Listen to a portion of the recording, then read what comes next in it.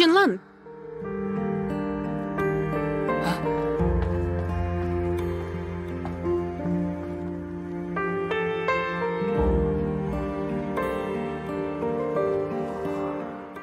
Ся-сяо Дю.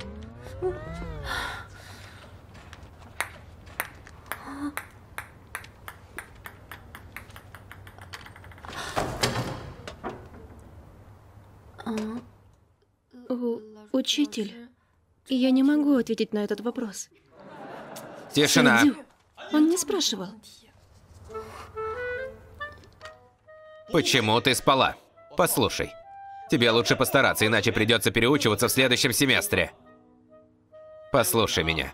Невозможно переоценить важность продвинутой математики для бухгалтерского учета. И Если вы не сможете ее выучить, вам лучше бросить учебу. Сейчас вы валяете дурака. Но позже вас могут отправить в тюрьму за пропущенный один десятичный знак. Понимаете? Садись.